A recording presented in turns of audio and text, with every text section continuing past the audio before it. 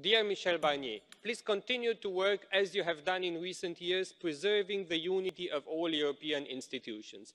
dear colleagues let's be aware let me underline brexit was tearing apart the uk society for years. it was tearing apart political parties it was tearing apart the uk government and it needed two early elections to settle. Meanwhile in the european parliament we have fulfilled our mission we work in a noiseless in a very professional way fulfilling our missions. for this i would like to thank colleagues from all political groups which were part of this united majority.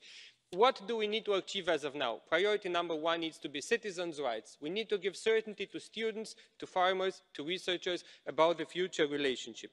the objective needs to be a relation as close as possible but the instruments are clear a rules based relationship the principle is clear please respect the rules and the outcome needs to be one in line with today's mandate of the european parliament. only then can we approve it in the end. thank you very much.